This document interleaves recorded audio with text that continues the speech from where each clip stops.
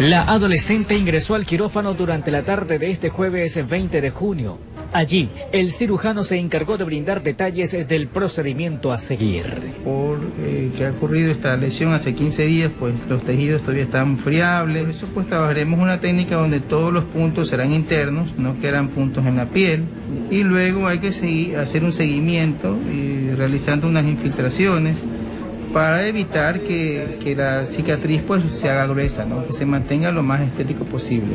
La pequeña fue agredida el pasado 3 de junio mientras se encontraba sentada conversando con unas amigas en un parque del recinto Las Piedras, perteneciente al cantón Esmeraldas. Fue atacada por otra jovencita, tengo entendido de 17 años, con posiblemente una gilet, por, ventajosamente pues los cortes fueron limpios, por decirlo así. Para mi hija es algo terrible, porque ella piensa de que vaya a agredirla otra vez.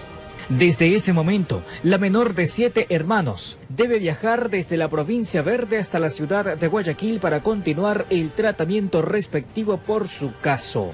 Su progenitora es la persona que le acompaña a todos lados. El cirujano que lleva su tratamiento de forma gratuita aseguró que no será la única intervención que debe recibir la pequeña. Eh, para la recuperación de su rostro eh, va a meditar ella probablemente dos o tres cirugías. Lo más frecuente es que entre cirugía y cirugía deban pasar no menos de tres a seis meses. Lo alentador del caso es que las heridas no fueron muy profundas, por lo cual evitó una posible parálisis facial. Sin embargo, su recuperación será a largo plazo. Ay, estoy muy agradecida del doctor Hernán Pérez. Informó José Morales.